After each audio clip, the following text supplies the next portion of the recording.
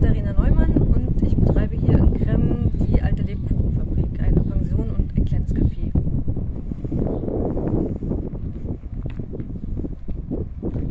Die Dammstraße ist mein Lieblingsort, weil es einfach so viel Geschichte von Krem widerspiegelt. Also man fühlt sich immer wie in so einem kleinen Filmset in der Zeit zurückversetzt, ähm, mit den alten Häuschen, der alten Fleischerei, den alten Gebäuden und ähm, die Störche sind jetzt momentan hier sehr aktiv. Also man ist immer von vielen Störchen umgeben, es ist immer lautes Geklapper und ja, das ist einfach ein, ein schöner Ort, wo man so ein bisschen in der Zeit zurückreisen kann.